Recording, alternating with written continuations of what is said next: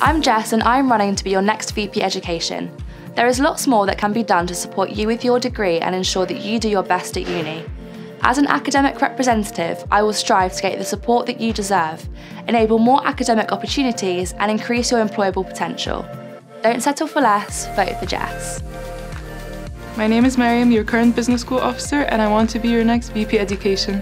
I aim to provide opportunities for students to reach their maximum potential, for example, by advocating for more open book exams, creating more job opportunities, and creating more workshops on crucial topics like plagiarism. So vote Mariam for VP Education. Hello, I am Shreya C and you can call me Shreya. Currently, I'm doing my Masters in Luxury Fashion Brand Management and running for the position of VP Education to represent the voice of all NTU students.